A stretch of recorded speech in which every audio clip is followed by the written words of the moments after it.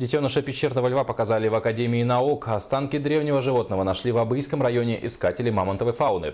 Сегодня они передали находку палеонтологам для дальнейшего изучения. На сегодняшний день науке известно всего три полностью сохранившиеся туши пещерного льва, и все они были найдены в Якутии. Нынешняя находка отличается большей сохранностью. У него уцелели все конечности, на теле и шкурке нет повреждений. Также он значительно больше предыдущих пещерных львят и весит более 4 килограммов. Возраст особи оценивается в 2-3 недели от роду.